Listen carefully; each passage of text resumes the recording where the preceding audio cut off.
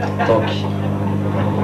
Og så var det siste eh, låta fra demoen Ice Cold Macabre Lust. Det var litt balladeaktig. Det er tittellåta. Ice Cold Macabre Lust.